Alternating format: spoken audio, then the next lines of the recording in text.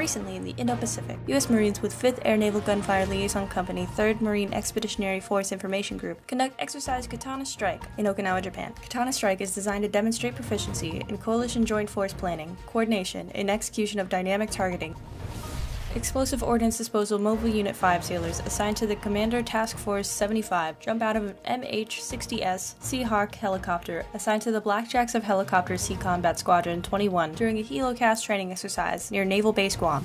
U.S. Air Force Airmen and Philippine Air Force personnel conducted bilateral fighter training operations at Clark Air Base Philippines and subject matter expert exchanges at Basa Air Base Philippines in support of exercise Cope Thunder 23 1. During the exercise, the 25th Fighter Wing conducted flying operations while Allied forces had the opportunity to train side by side, all in support of a free and open Indo Pacific region. For this news and more, visit the IndoPACOM Facebook and Twitter pages. Reporting from Oahu, Hawaii, I'm Staff Sergeant Max Miller.